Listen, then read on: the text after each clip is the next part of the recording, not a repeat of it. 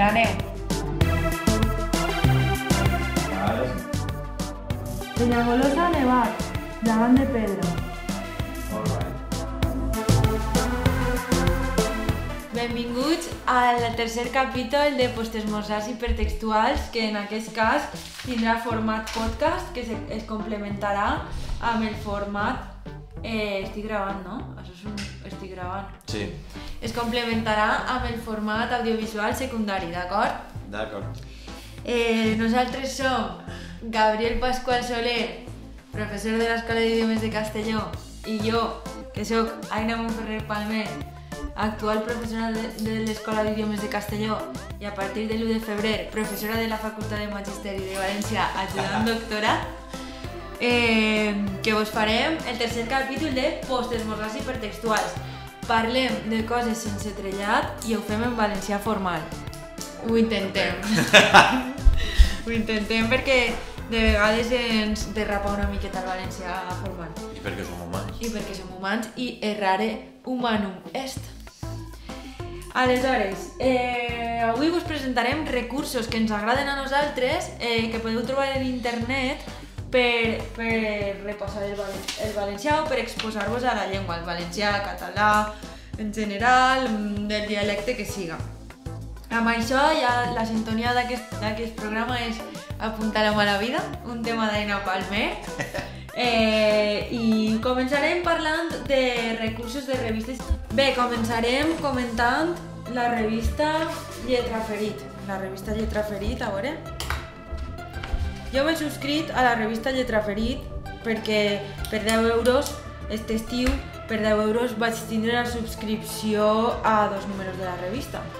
I és una revista que realment està molt ben editada i que és una revista que eh, dona gust de tindre en paper, no? És una revista de l'editorial Drassana, que és una editorial que està publicant ara molts llibres de Vicent Baidal i alguna coseta més d'algun altre ésser humà.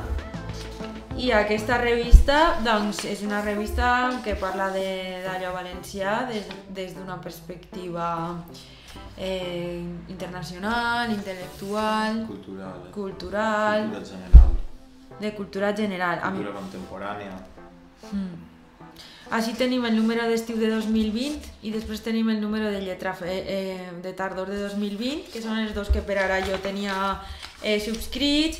Mm, doncs tenim, per exemple, articles sobre això que és. La màfia russa a Torrevella, que és una ressenya d'un llibre d'aquest d'aquest tipus. Eh, em sembla molt interessant, no? Perquè pareix que visquem així a Illes de la Màfia i resulta que no. Cine. De, és una pel·lícula, Una pel·lícula. doncs tenim ressenyes, per ara hem vist ressenyes, eh, els horts de taronges, la reivindicació d'un paisatge cultural, eh, això està molt bé per a tota la gent que vivim entre horts de taronges, no? Sí, jo és que soc més de secar. Tu eres més de secà, jo sóc més de, de marjal i per tant em sent molt identificada amb aquest tipus de amb aquest tipus de paisatge de camps de, de tarongers amb casetes aïllades, això és Alzira però podria ser perfectament, perfectament Borriana. Eh, Estes típiques fotos no? de, De la selecció de les taronges. dels de magatzems, l'encaixar. sí, dels magatzems de taronja, amb les dones fent la tria, eh, aquesta paraula tan típica ara de la Covid, fent el cribratge. Cribra... És amb R, cribratge. Cribratge. Sí, al·lucina. Així també una pel·lícula, un, un, no sé, no, tampoc podem ser tan, tan exhaustius, no? No. Són algunes entrevistes també, entrevistes a escriptors, escriptores, eh, mira, un article de Vicent Baidal eh, sobre un pintor que va viure a València, Seguiu a Vicent Baidal.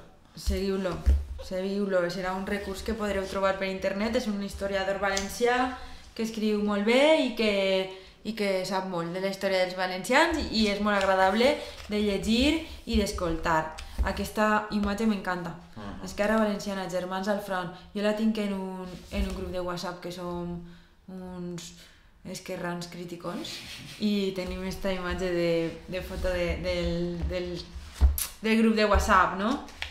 Eh, sempre m'ha fascinat moltíssim la, el, disseny, sí, el disseny gràfic de modernista valencià.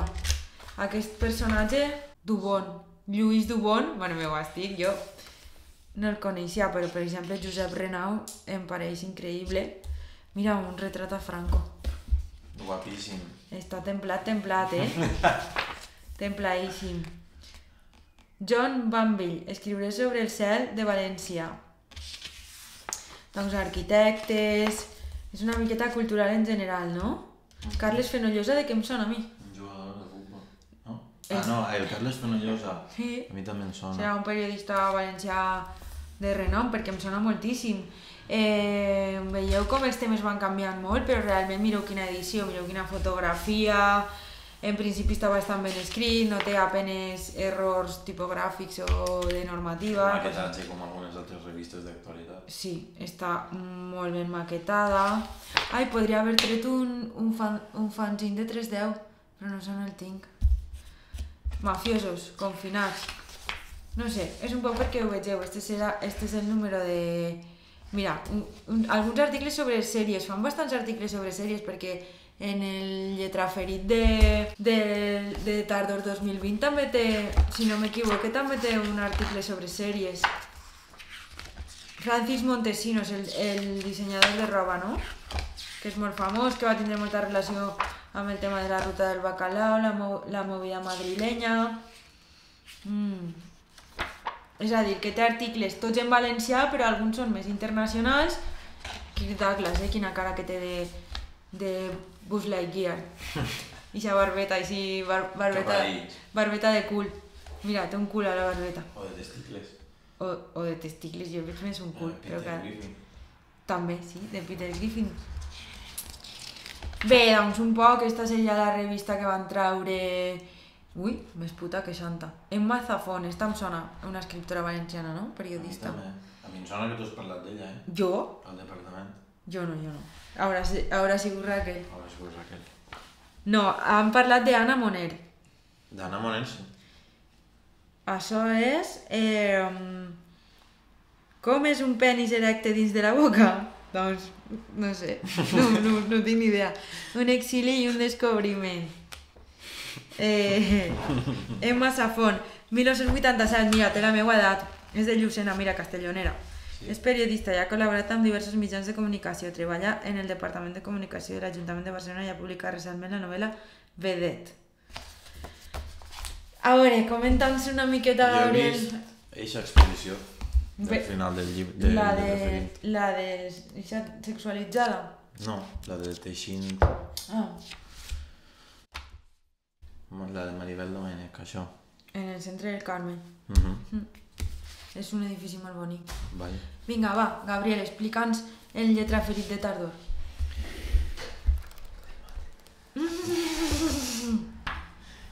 Eh... Posa't ahí si vols i m'arrime jo. No? No, perquè no sé si... Va, sí, tira-li. Este sí que me l'he llegit més eh, que el de, que el de l'estiu. Este me l'he llegit pràcticament sencer. He tret uns exercicis per a... per a la meva pàgina web de tasques per a treure's el seu i el C2. Aleshores, així primer parla de, de literatura, d'alguns mites, no? com el mite d'Adam i Eva, mm, Macondo, del llibre este tan famós de García Márquez, Cien a- Cien años de soledad, l'Odissea, tots els mites, no? els relats. Després aquest és eh, sobre, sobre el gènere documental de muntanya. A mi m'encanten els documentals de muntanya. S'han perdut prou els documentals de muntanya. Sí? No ho sé, jo l'últim que vaig veure al cine va ser el de Kilian Jornet i el de Kilian Jornet era bastant espectacular i m'agraden moltíssim els documentals de muntanya, de gent que es perd, que es queda atrapada i tot això. Mm.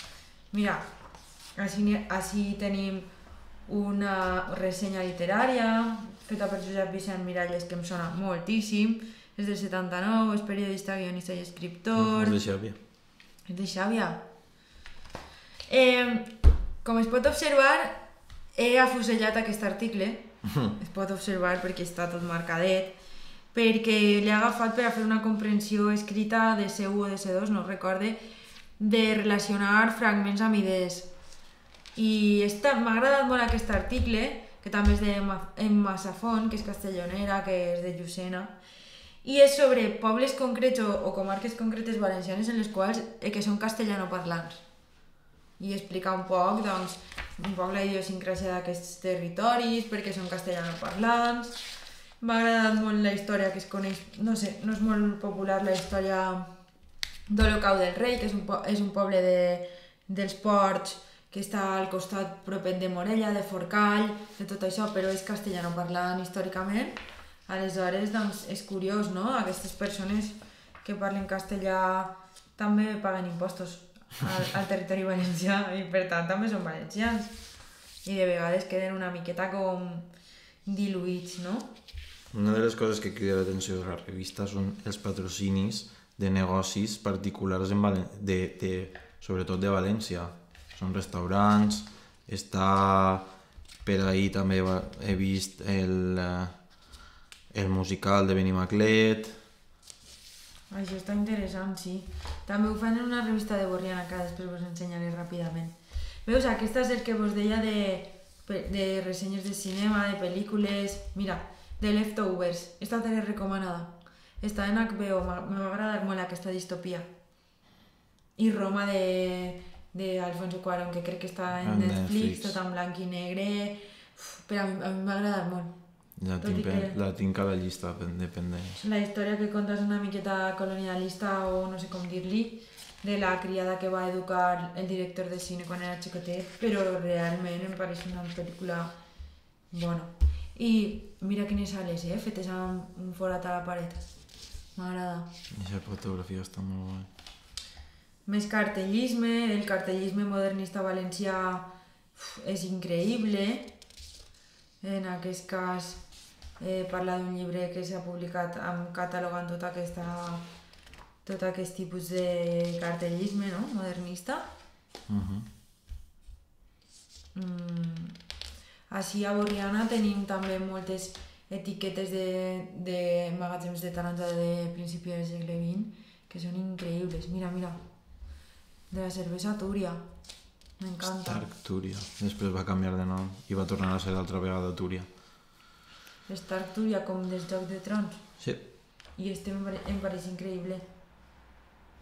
Però m'agrada molt també la de l'aigua de Benassal, que és un déu noctus ahí amb un trident. L'aigua de Benassal Sí, encara ho és. Mm, encara ho és. Després també eh, articles sobre cultura, eh, també sobre persones concretes, no?, que van viure, que han tingut una importància històrica.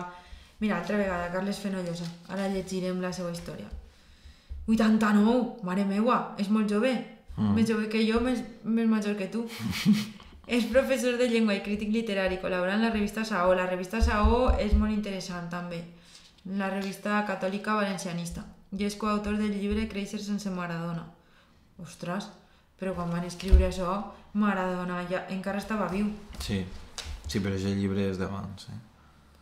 I ah, sí, este llibre de Narciso l'onanisme eh, crec que sí que va ser molt famós, no? Sí. Va guanyar el Premi Drassana, no? El Premi Lletra Ferit. Com en la meva cançó de les ungles. L'amor és l'autòpsia d'un lletra ferit ofegat. Arthur Caravan, explica'm qui és este tio. Un, un boxejador que era un cultureta de la vida que entenia que era molt, molt intel·ligent, sabia, tenia molta filosofia per darrere. Bueno, això és el que jo tinc entès, tampoc és que l'haig estudiat molt. I és el grup valencià. És un grup valencià, sí. Eh, doncs m'agrada molt com està organitzada aquesta part de la revista perquè t'explica la vida d'Arthur Caravan i justet després t'explica la vida i les fotos són increïbles, eh? Les fotos d'este tio. Devia ser super molt atractiu. Eh... Mare meua. I ara t'explica la història de Mina Lua, que era una poetesa i que van ser parella. Arthur Caravan i, Ah. i esta poetesa que també, mira que guapa, super guapa. Increïble. I aquest article és de Vicent Baidal i l'altre de Carles Fenollosa. Continuem veient un predomini de- d'homes, Mm. però bé. El Minotaure que troba la felicitat a Aspen. De És Vicent aquesta- Baidal també. Sí, és el final ja, crec. Arthur Caravan i Mina Lua, dos personatges de culte de les avantguardes del segle XX. És a dir, que esta és la filla d'Arthur Caravan i de Mina Lua i que els seus pares eren com persones molt magnètiques, molt intel·lectuals, molt influents i ella va decidir viure retirada, viure en l'anonimat. És a dir, que veus, de vegades la pressió dels pares acaba bloquejant-nos. Sí. Eh, Milzola, que es, es veu l'escriptor naturalista, no? Uh -huh. Que es veu que va estar a València, pel que, pel que sembla. No sé, és una revista que està molt bé. Vinga, passem a una altra revista, que estem així allargant unes massa. Mira, aquest sí que és d'Anna Moner, i també vaig fer una comprensió escrita, crec. Eh, sobre el quadre aquest, del, aquest de la Venus, no? El naixement de Venus de Botticelli. Però és més com un article d'opinió. Vinga, què Quina més? vols? Posa-les així damunt i les, re- i les refilaré ràpid. No, una, una per una. Bé, a veure, així tenim la revista Empelt, que és la revista de l'associació El Maestrat, Maestrat Viu, eh, que és una associació cultural del maestrat, tant al baix, alt com baix maestrat, i, i que editen aquesta revista, que és, està també bastant, bastant ben editada. La revista l'edita eh, esta editorial que està a Benicarló, Onada. Ah, una. Onada Edicions. I són bons. Són també... Editen, editen en blanc i negre, però també fan una edició molt revisada, molt curada, eh, Onada Edicions.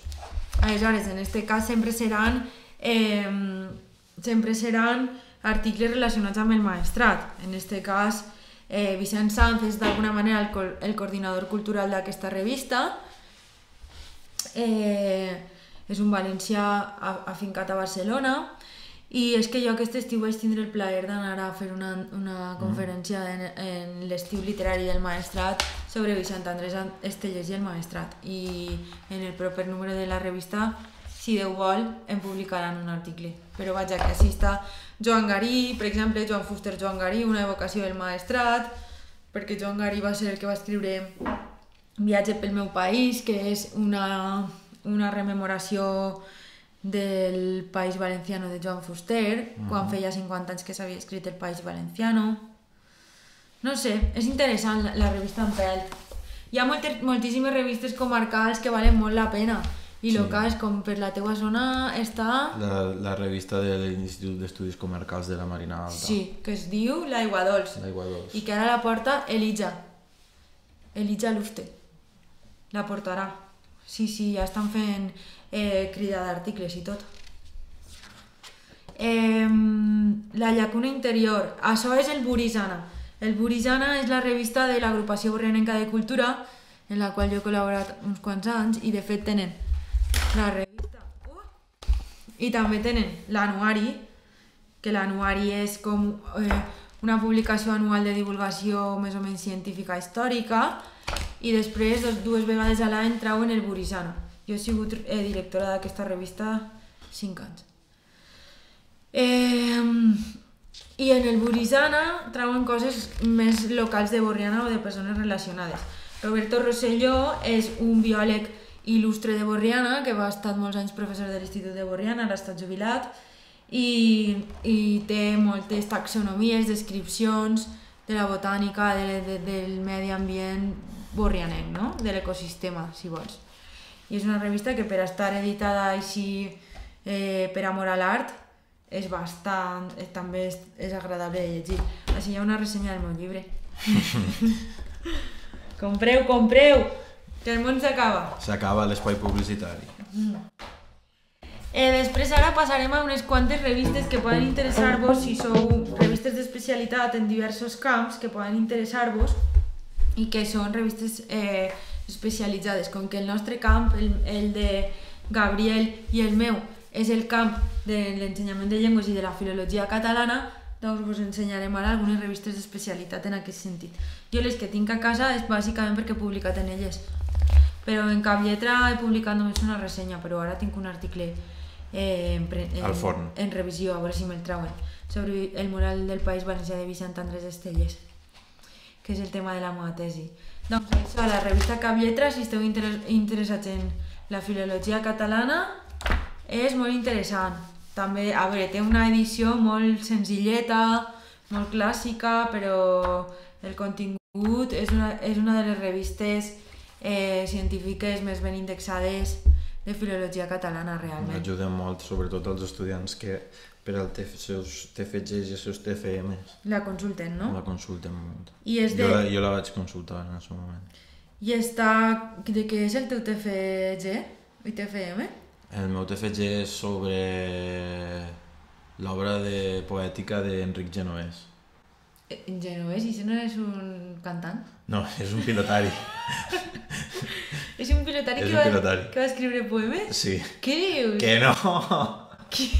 Genovès és un pilotari, però aquell li diuen Enric Genovès. Era un, era un, això, un retor que va néixer a Xàbia, però es va desplaçar a València i allí va fer, va fer els seus estudis No sobre serà- la llengua, I, sobre i què més? I el TFM?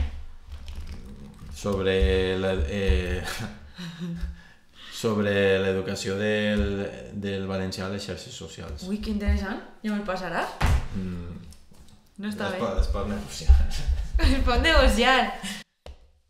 Mira, esta revista és una revista de l'Institut d'Estudis Catalans que és més sobre sociologia, anàlisi del discurs, eh, periodisme...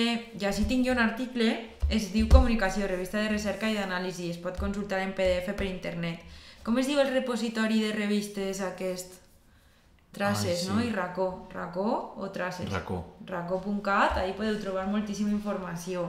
Aleshores, este és més com de qüestions de xarxes socials, etc. I així vaig publicar un article que es diu Pragma estilística del hip-hop en valencià. I vaig posar verdes a algunes persones concretes. no, és veritat, però vaig fer una anàlisi bastant personal. Bé, no sé, pot ser interessant.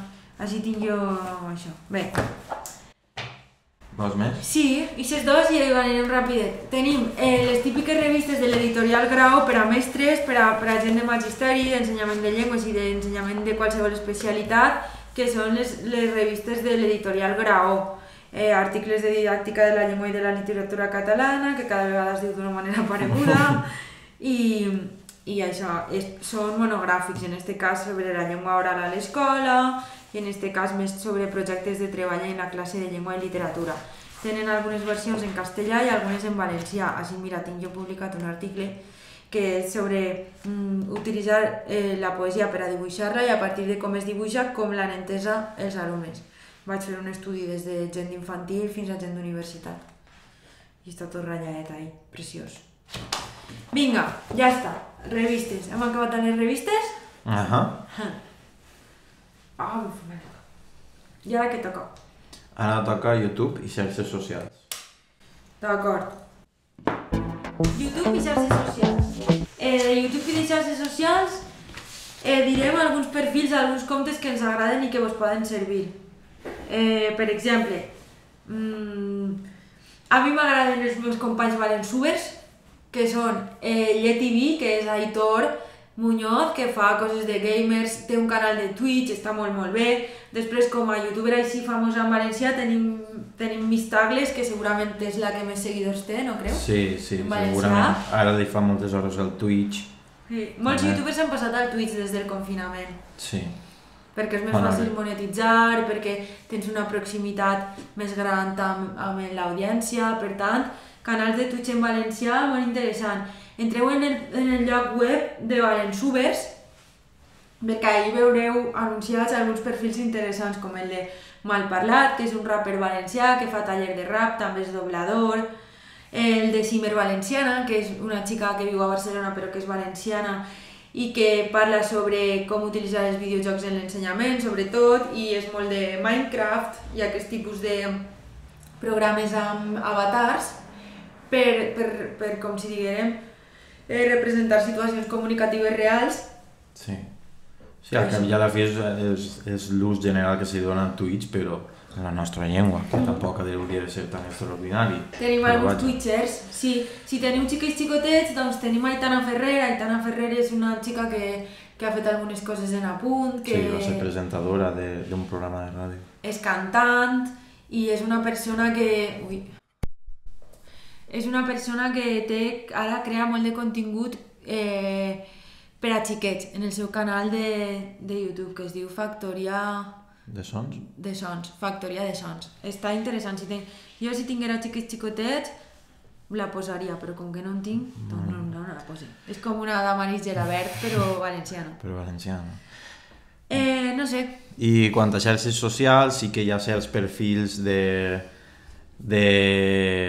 sobretot en Instagram, encara que també en, molts d'ells es podeu trobar a Twitter. A mi el que més, un dels que més m'agrada és el de Marri Memes. I Que el vam comentar. Que el van comentar en, en, el, en el segon vídeo sí.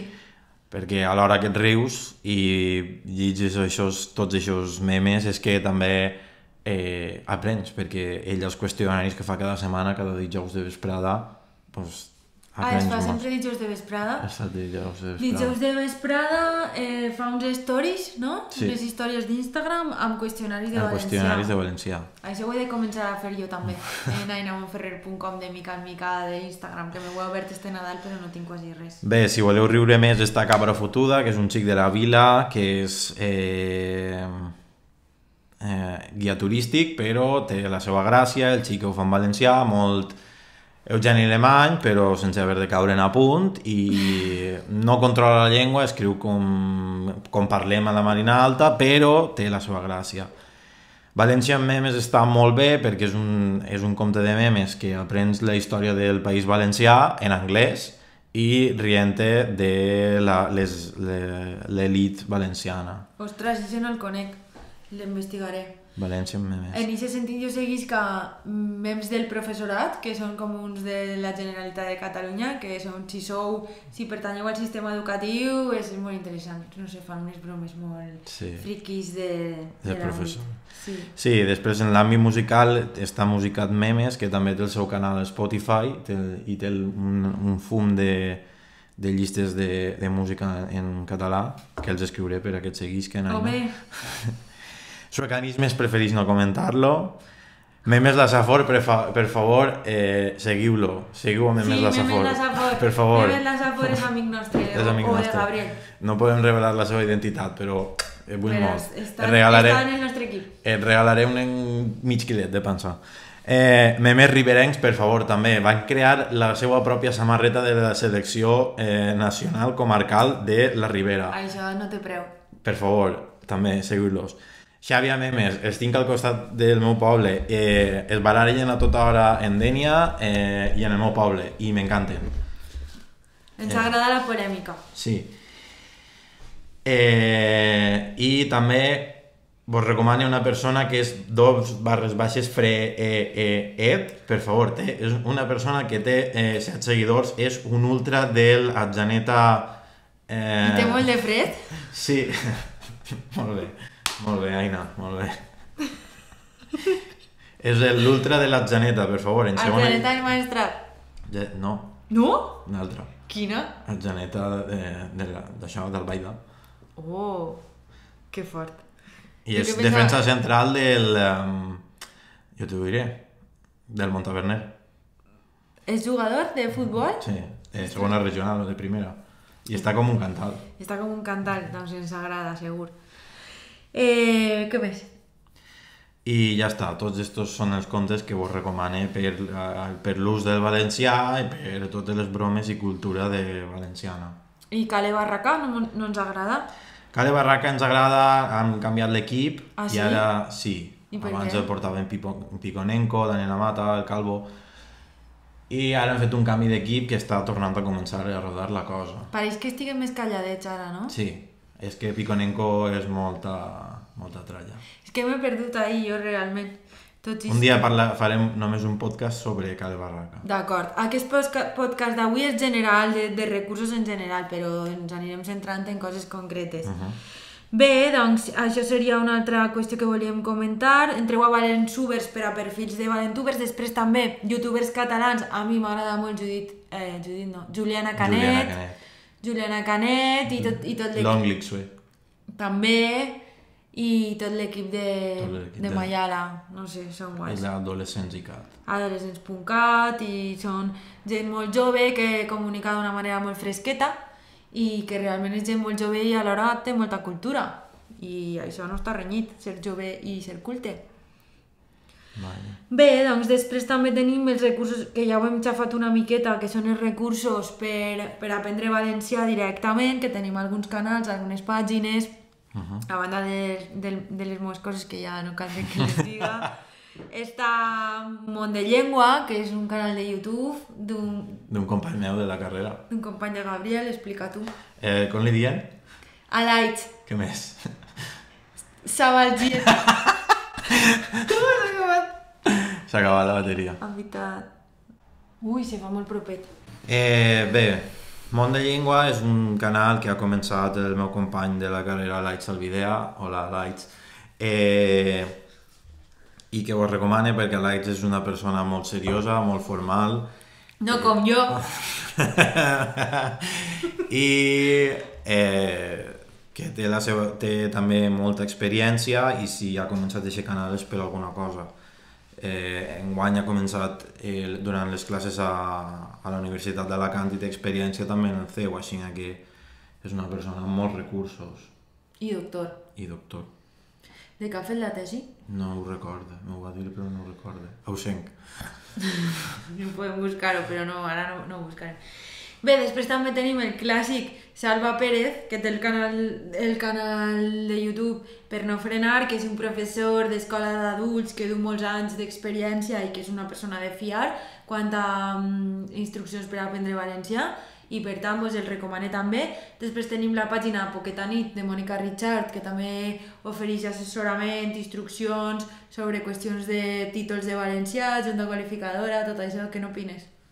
Que és professora d'escola oficial i que té mm, molta experiència en aquest àmbit perquè també va treballar a la Generalitat, sobretot en l'adaptació de, la- a la Junta de la Junta Qualificadora mm. al marc europeu, per tant, és molt recomanable. També ens fiem al 100% de Mònica. Per tant, això serien els, els perfils així de mm, professors espontanis i professores de valencià que dediquem temps altruistament a l'ensenyament del valencià autoaprenentatge per internet, els que més recomanem, no? Sí, Bé, després estan també les píndoles del profe, que és un xic que és mestre d'escola, que li diuen Santi, que és també, també. Bé, a veure, eh, parlem ara de sèries i de pel·lícules, no? Bé, eh, és que això va ser molt limitat, perquè per desgràcia l'expansió de les sèries i les pel·lícules en valencià català mm, és molt limitada. I per desgràcia jo quan me poso una pel·lícula m'adorc. Eh, sí, en totes? En totes. Ai, mare. Totes, totes. Eh, Si dura més de 15 minuts, jo no puc. Mare meva. Va. Vinga. Eh, la més coneguda de totes ha sigut Merlí, que la, la, la seva etapa més daurada va ser quan va fer el salt a Sud-amèrica. I eh, arran d'això TV3 va començar a fer la seva sèrie, les de l'hoquei, que sí que eh, amb aquesta expansió a Sud-amèrica va, va, va fer el nexe d'unió entre Catalunya i Argentina, que són l'hoquei sobre patins, l'hoquei sobre patins. I de fet hi ha, hi ha una de, de les protagonistes de les de l'hoquei almenys de la primera temporada que és un, com una xica argentina, Argentina. que ve a, a, així a Barcelona i juga a l'hoquei Sí, a Barcelona. sí. Catalunya, Argentina, Angola són els tres països que dominen l'hoquei patins. Angola? Crec que sí. Ostres, no, te, no en tenia ni idea. Un, part, un dels països africans. Mm -hmm.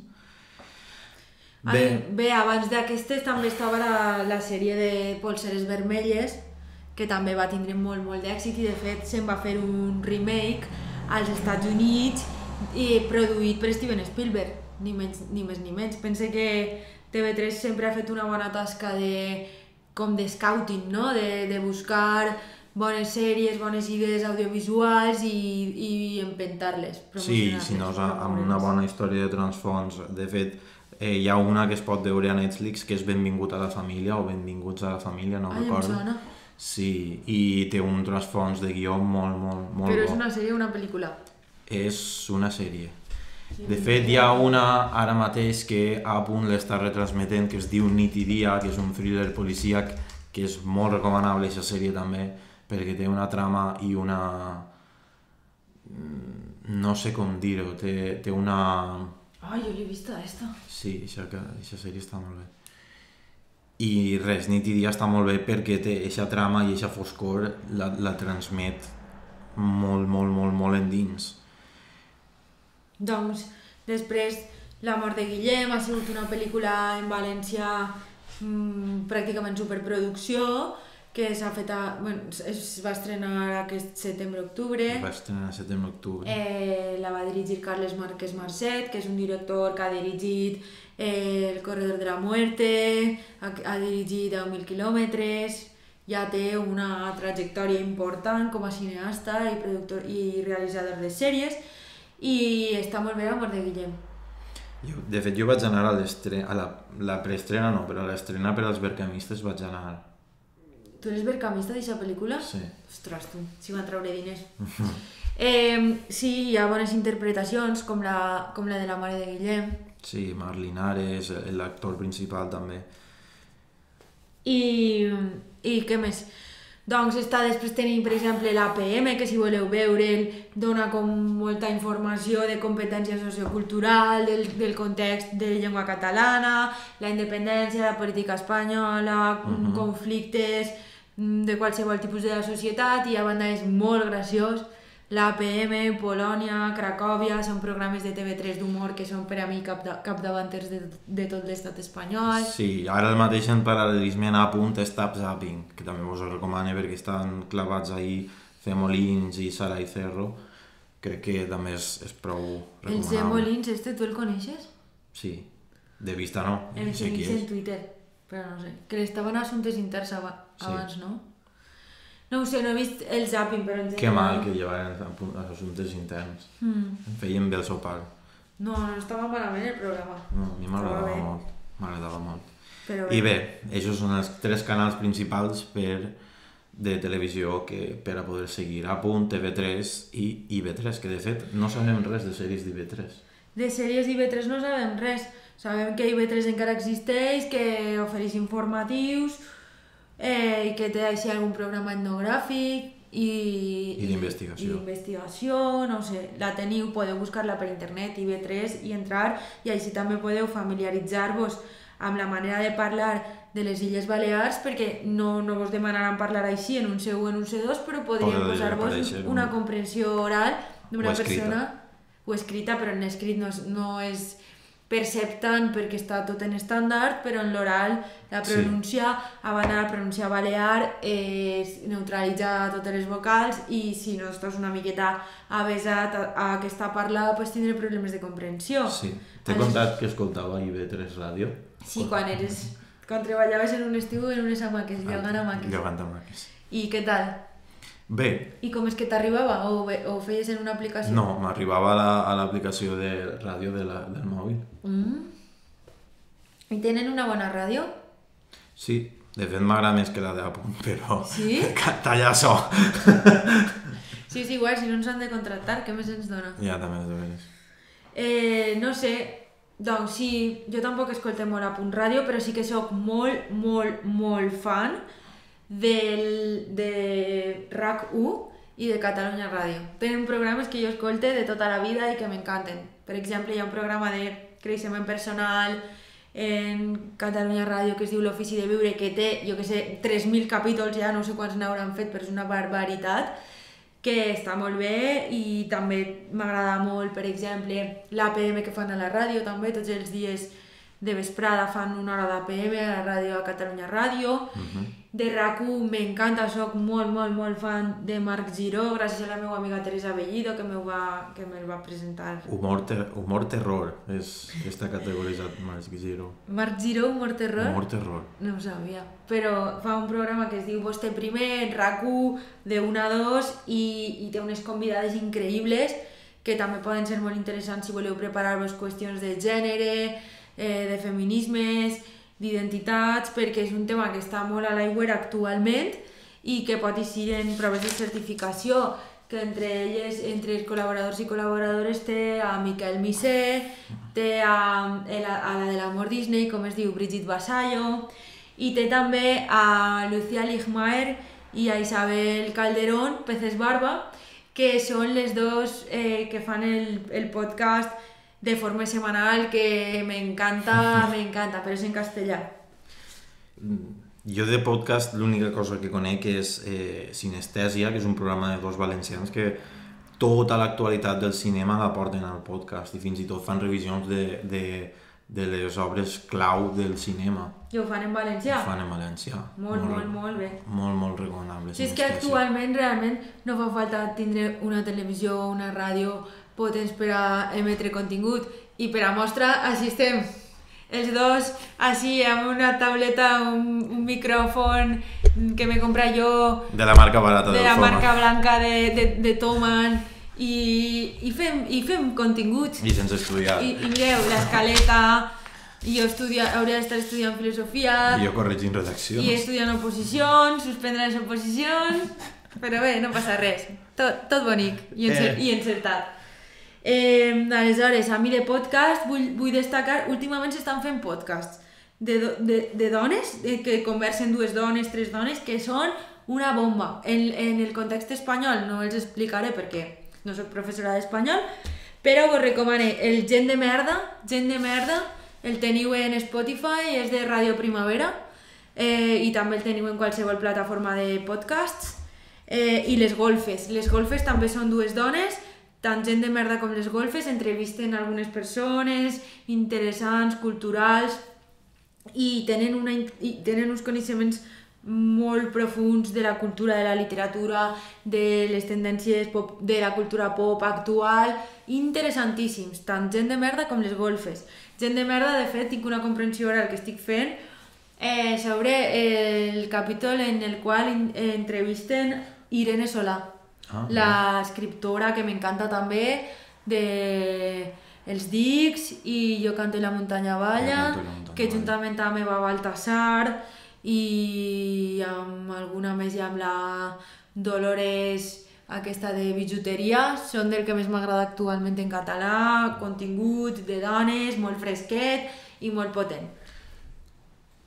I ara parlarà Gabriel de teatre, perquè jo no tinc ni idea de teatre. Però jo tampoc. Sí, que tu vas, que tu vas al teatre de, del Principal de Sí, Castelló. jo vaig al Teatre Principal de Castelló, ja que, ja que m'he mudat a Castelló recentment, eh, sí que he acudit, sobretot aquest últim trimestre, tots els diumenges al teatre. L'última obra que he vist i que, i que vos recomane és Poder i Santedat, i Santedat de Manuel Molins. Eh, és, aquest llibre es pot comprar i de fet l'altre dia el vaig veure a l'FNAC, així a Castelló. Però el llibre també és del dramaturg? Sí, D'acord. crec que sí. Eh, Manuel Molins és un tio famós. Com els germans Sillera, com Alberola... eh, de fet, ara parlaré d'ells. Però és una obra que recomane molt perquè eh, fa una crítica a tota, el, a tota l'estructura de, de l'Església des del punt de vista d'un eh, eh, d'una persona que està a punt d'eixir del seminari a punt de passar a casar-se amb Déu. I ahir fa una crítica de, de la, del celibat, de, de, de tot el poder que corrompa a l'Església i de aplegar al final i clar, al final la reflexió final puc fer spoiler? Clar. Val. La reflexió final és que en, per molta modernització que hi hagi, el poder sempre serà el poder i la santedat sempre els corromprà. Per tant, Però tal com estic estudiant jo ara, realment Jesucrist, l'Església Catòlica ve d'una humilitat màxima. sí, però el poder i la santedat El poder corromp, sí. Sempre. Bé, l'obra que sempre recomane per a llegir és que tinguem sort de Carles Alber- Alberola. És una obra molt senzilla, molt fàcil de llegir, molt curta, dos actes, dos persones, una trama molt fàcil. El discurs final, que en aquest cas sí que el feia Carles Alberola, és una obra que si qualsevol... Sí que el feia, què vol dir? Que feia d'actor? Ell mateix Ah, feia sí? d'actor. Ostres. Ell era actor i protagonista. Jo me'n recordo que a l'institut varen fer la de Besos, de Carles Alberola. Mm, I jo em va també he agradar anat a- molt. també he anat a veure. Amb Carme Rufino, actual guanyadora del Premi de Poesia Ciutat d'Alzira i professora de Valencià de Borriana. Ah. Molt bé, Carme. I això, eh, fa un discurs final que en el, seu, en el seu moment va ser sobre el tancament de Canal 9 bé, i el context era així, però que és un discurs final que qualsevol director podria modificar i que qualsevol, jo crec que dos actors podrien fer eixa, o dos aficionats del teatre podrien fer eixa obra en, el, en qualsevol espai cultural de qualsevol poble o de qualsevol ciutat. S'ha convertit com en un clàssic. Sí. Després Dinamarca és eh, una pel·lícula de... Ai, una pel·lícula, molt bé. Una, Una obra de teatre. Una obra de teatre de Josep Lluís Rodolf Cirera que tracta sobre la, la invasió nazi a, a Dinamarca i és una trama familiar de sexe, poder eh, i política de, en, en aquella època que de fet el dia 4 de febrer ve així a Castelló 4 de febrer de 2021, a les 8 de la vesprada. al 8 de la vesprada a Castelló, Dinamarca. Dinamarca. Amb uns actors molt bons. Del Cirera que està viu, no el que s'ha mort. Ala. El del Cirera que està viu, no, no el que ha passat a millor vida. Ha fet el traspàs. Joder, tio. Val, una obra que no m'he llegit i que tinc molt pendent és eh, Hotel Fontana de Pau Alabajos, que és prim, eh, Premi Ciutat d'Alcoi del 2019, crec recordar. Ni idea.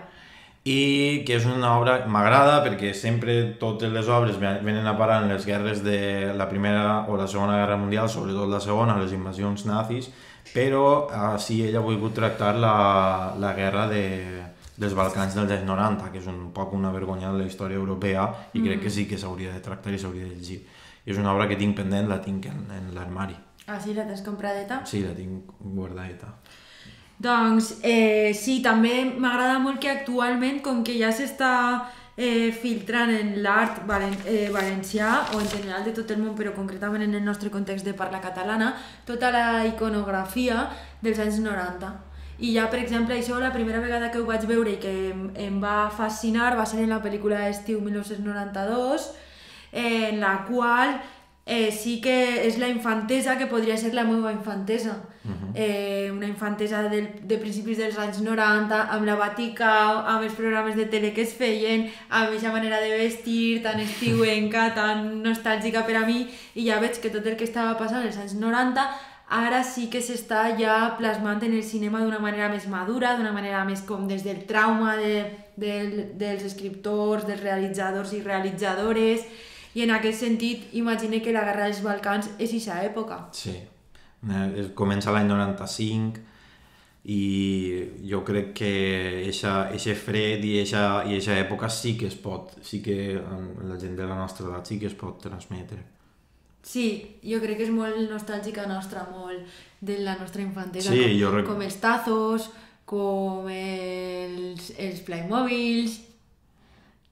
El, el, el, el, el, els... com es deia? Els... No, els àlbums de cromos, de futbol, de futbol. de... mm, no sé, mil coses. Mare meva, Les coses de Fisher Price, de, de, de quan eres bebè, Els Pokémons. els Pokémons, tot això ja està com en la nostàlgia de les persones que actualment ja són adultes, són madures i estan produint teatre, cinema, música en valencià. I és com una, un pas més, no? una època més, que ja és la de les persones que pensàvem que eren jovens, que érem jovens però ja no som tan jovens.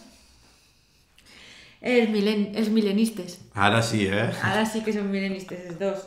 És que teníem un debat. Sí, perquè Que pensava guai, que ell era centenista, però és milenista, diu.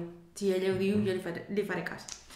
Eh, per tant, de podcast ja us hem fet algunes recomanacions. Sempre entreu a la, a la plataforma web d'Apunt o a la de TV3 o, la, o a la de IB3 i trobareu molts continguts. Quant a revistes, se m'ha oblidat dir que la revista Mètode, tot i que també és en paper, però la versió web està més accessible, és una autèntica meravella dirigida per un autèntic eh, mm, número 1 de la literatura que és Martí Domínguez i que és un autèntic bon escriptor valencià, internacionalista, darwinista, biòleg, historiador, periodista, té una visió eh, molt europea de la literatura, de la cultura, des d'un valencià molt ben escrit, soc fan de Martí Domínguez i la revista Mètode té els millors articles de divulgació científica que es poden trobar en català per internet perquè tenim després la revista Sapiens, per exemple, però aquesta revista és molt més re- restrictiva per internet, aleshores la revista Mètode és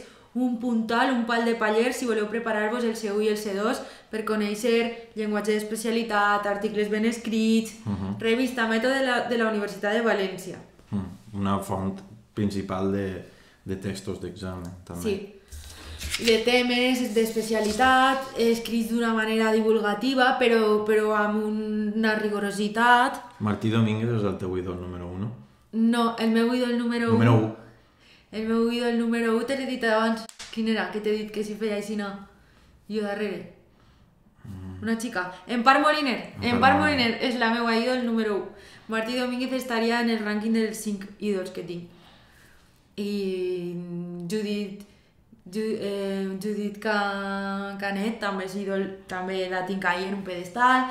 Richie Ostariz, Ernesto Castro, tota aquesta gentola. Bé, a veure, eh, bàsicament ara per acabar parlarem de música, simplement jo us recomanaré 5 cançons en català que a mi m'agraden molt i, i, de, i de persones que m'agraden molt i Gabriel, que és un tio més mainstream, també també pues, pues, farà la recomanació. Jo és que sóc una miqueta outsider. A veure, a mi...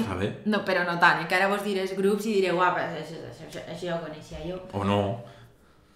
D'acord. A veure, vos recomane. Eh, del número... Del, per un costat, eh, a veure on ho tinc. Ah, sí, d'Antònia Font. Antònia Font, la cançó que triaria jo d'Antònia Font és Tots els motors. Tots els motors d'Antònia Font, per a mi és de les millors cançons de la història de la música. Eh, i el, el vers ens estimàvem, ens destrossàvem mútuament les vides, em pareix eh, que no es pot sintetitzar de millor manera una relació amorosa. I, i això seria una de les cançons. Eh, després, tot i que no sóc molt fan de, de Zo, sí que m'agrada molt, molt, molt la cançó Estiu, sempre m'ha agradat eh, la lletra, el, el paisatge que construeix, el que transmet, Estiu de Zo m'agrada molt. Després m'encanta com a personatge, com a performer, com a pensador, eh, Albert Pla, que ara tinc per, lle- per llegir el llibre que m'has passat tu d'Espanya, uh -huh. què? Espanya de merda. Espanya de merda, però en general m'agrada ell. Per exemple, el, el monòleg que té en la pel·lícula d'Isaac y la Cuesta, Murieron por encima de, de sus posibilidades, el monòleg d'Albert Pla, Albert Pla també és, és el meu ídol. També? Sí. Però te, ja te'n passes de 5? És, Sí. Jo és que només en tinc un. Quin? Miquel Montoro. Miquel Montoro s'ha passat al castellà. Ah! Ah, eh, a veure, i què volia dir? I la cançó, si voleu que vos diga una cançó d'Albert Pla, la de Papá, jo vull ser torero, i també m'agrada molt la versió que fa Sílvia Pérez Cruz. Em sembla una cançó que es riu de la dreta nacionalista, amb totes les lletres i amb la boca ben oberta i amb les contradiccions eh, del nacionalisme més neoliberal eh, català mm, del món. Aleshores m'agraden i, i, que, i quina més volia dir? Eh, després també, mm, no sé, m'agrada molt la cançó de, de l'Alba de- d'Arthur Caravan d'Arthur Caravan amb Hugo Mas, m'agrada moltíssim Senior, Senior el cor brutal, eh, i la cançó de Milionària de Rosalía. Ah, sí? A mi sí, m'encanta. Sí? A mi m'encanta Rosalía. Bueno, això ho sabia, però no sabia que la milionària estava entre les teues Però perquè és en català, Bueno, també. ara tu. Que en aquest canvi també t'agradarà, has d'escoltar l'última de Samantha Gilabert? És que Samantha és massa... És que té una veu barra, la tia, eh? Eh, no, la tia... És... A veure, jo so... me pareix... Samantha és una persona increïble, que està més, més sorda que un cudol i canta increïble. És una tia, a veure, increïble, és, un mite de persona. Sí, sí. Tot el que ha fet, amb tan poca audició, amb aquesta energia, amb aquest... però no és el meu estil, musicalment parlant. Sí, bueno, l'escoltarem ara després de la pausa. D'acord. Eh, I bé, com ha dit ella, so, eh, de fet, després ahir, crec que va ser, o fa uns dies, va treure eh, el seu últim tema, Avall, Avant, perdó, Avant. Avall. Avant, avant, avant. I em fa molta gràcia perquè estan tots en castellà ara i avant, i ara... I avant. es Així en avant. castelló diem quan no sabem com acabar una frase, i avant. Iau, Iau, i en pau, i avant. i avant. Que de, eh, en el, ma mare ho diu també, Des de quan? de tota la vida. I avant? Sí. Bueno, d'acord. Bueno, ja, ja estudiarem aquest cas, ja farem un Estudiarem estudi el cas, sociolingüístic. sí, sí. Eh, I res, el seu, el seu descans de 2020 es va agarrar la quarantena, així que i a nosaltres també, així que ens convé, ens ve bé, així i per a 2021, si les coses van a millor, es poden tindre dalt dels escenaris. No sabem res del... Aquí, aquí. Zo. Ah, sí, sí. Eh, no sabem res d'auxili, en teoria també anaven a parar durant 2020 i mm, no sabem res d'ells. Mm, Jo els trobo a faltar perquè m'agrada molt el reggae que feien. Smoking Soul segueix la seva, la seva gira, de fet vaig anar al seu concert a Pego amb la meva amiga Anna. I com va estar? Molt, va estar molt paraet, no se sentia massa bé, o no sé si era jo que estava sentat al final, però va estar mm, molt parat per a la canya que li donen en directe Smoking Souls. Però segueixen agradant-me. La, la, la, la bateria eixa a, a mort i destrucció que fa Bolu m'encanta. És que és percussionista el xic, Era, era. però sempre queda. Bueno, sempre queda, on, on hi ha foc, on havia foc. I res, durant aquesta quarantena i durant enguany eh, els DJs DJ Monka, DJ Plan B i DJ Piano els van versionar uns quants temes que podeu entrar al seu... Aquí, a Smoking Souls? a Smoking Souls. Viano, Viano? Sí. I podeu entrar a escoltar-los al seu Spotify i a les seves xarxes socials. La, la, la Fúmiga és, és el grup revelació ara mateix valencià que recomana a tot el món. He sigut músic, músic de carrer, músic de xaranga. És un grup que està fet per i per a músics de xaranga, que de fet hi ha xarangues per ahir que ja estan versionant les seves cançons, i per a mi, que sé la feina que comporta fer un arranjament de cançons diàries a, a una xaranga, eh, ho, ho aprecio molt i sobretot en la seva versió de, de Escalarriac.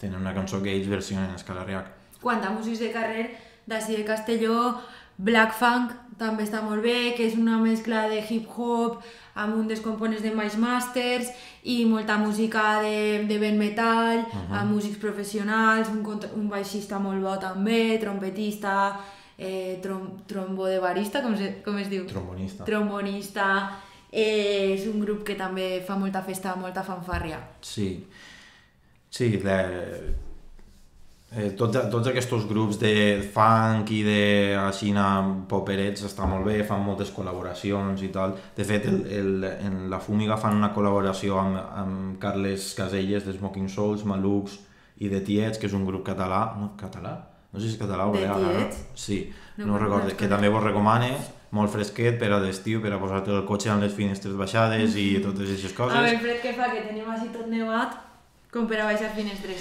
Sí, i res, seguint amb, amb aquest seguit, vos recomane Reacció, un grup de xavals de Pego, de l'escola musical esta que no, que no para de, de Pego, molt, molt, molt bo, molta tralla, molta bateria, molt, molt darrere. Eh, Arsènic, en aquest mateix sentit, de Xàbia, de... és que li tiré molt a la Marina. Ja ho sé, ja. Si els pencats seguida, també Estàs recomanaria fent els pencats. proselitisme, però Sí, vinga, bueno, no passa vale. res. Avant. Per favor, també, un poc de la Marina, també, pupil·les dilatives, per favor, Natàlia, de Gata de Gorgos, molt bé, avant. Tesa, per favor, Després tiraré jo per, per la plana.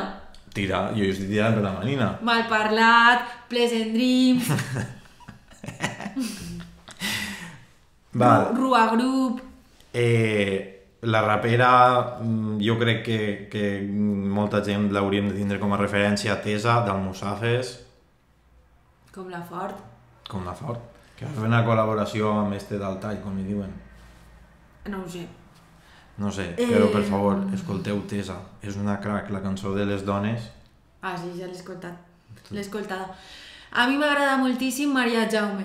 Maria, Maria Jaume, una, una xica guitarrista cantant de les Illes Balears que ha tret ara l'any 2020 un disc que ha guanyat un, el premi crec que sona nou de Barcelona, un disc increïble, mm, intimista, pop, indie i amb unes lletres boníssimes i molt senzillet però, però molt molt bo i que, venen a, i que ve a l'EMAC i també venen Dona Llop, un altre grup així d'electrònica, A, pop... a més, he sentit també està en Andreu, que de fet va vindre així al Troba'm a Castelló, i eh, eh, m'agrada molt perquè m'agraden molt els grups que estan formats per dos o tres membres sols. Mm. I, per, Com Aina Palmer. com Aina Palmer. Fes anunci, vinga, va. Aina Palmer, traem disc el 21 de l'1 del 21, Fallanca, sis cançons, resultones, bones, barates, boniques, eh, Fresquetes. festeres, Fresquetes, fresquetes. marxoses, fresquetes. I tenim concert el 12 de febrer, aniversari de Gabriel, a Borriana, a l'EMAC, a les 8 de la vesprada, abans, abans, abans de Califato Tres Quartos, que són un dels grups puntals de la moguda post-folk que s'està generant actualment a, a tota la península ibèrica amb grups, amb grups com Gurposkins, amb grups com estos gallecs, com es diuen? Grups gallecs, eh, mm, Ai, m'ho vas dir. grups castellans, la... Oh, le Parody, eh, eh, espera, així pel nostre territori també s'estan coent coses que fan xuf-xuf i que pront eixiran, no vull desvelar molt. Eh, Que escolten Califato tres quartos. Bayuca, Bayuca és el grup, el grup eh, gallec que vos deia, de, també hi ha un xic trans eh, asturià que, li ha, fet, que ha, pro, ha produït un disc amb Raül Refri, eh, que és brutal, post-folk, eh, és, és una escena que està creixent moltíssim, com es diuen aquests bascos que vas veure tu al tro- Fetac. Fetac, un grup eus- eh, basc que sona... Sí, és l'antic cantant de, de Vendetta, que és escena, percussió i mm, xalaparta basca a. Xalaparta electrònica.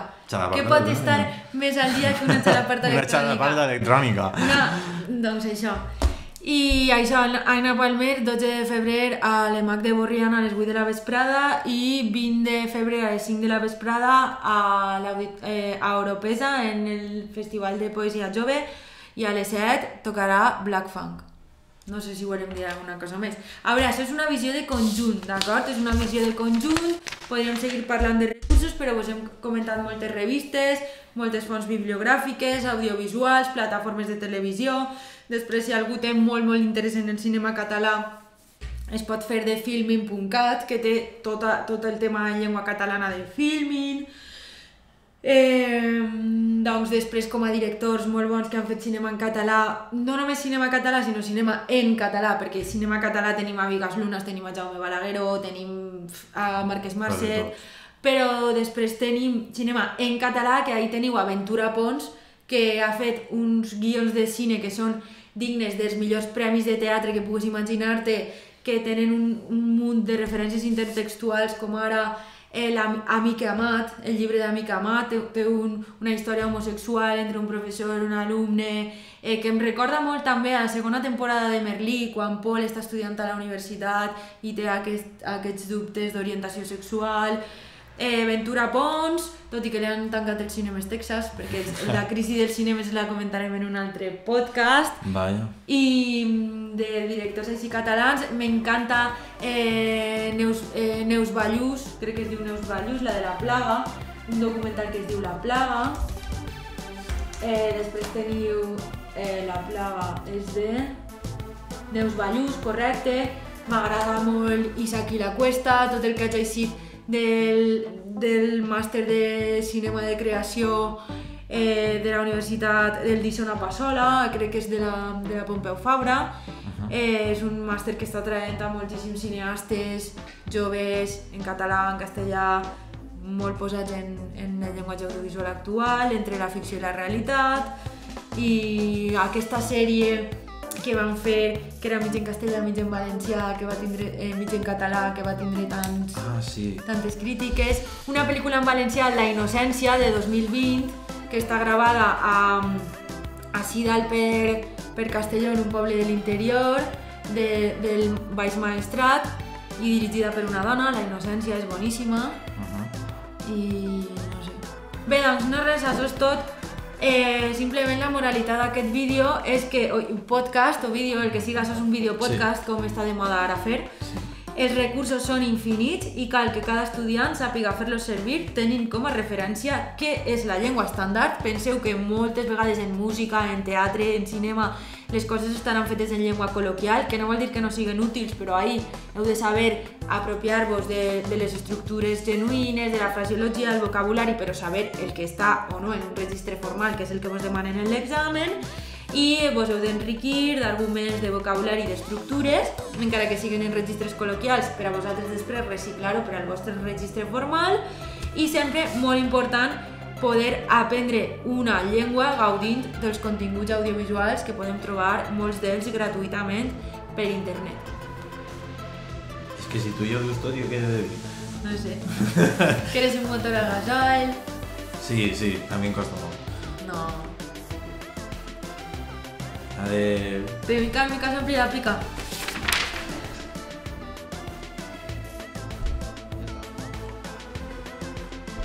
Hey yo,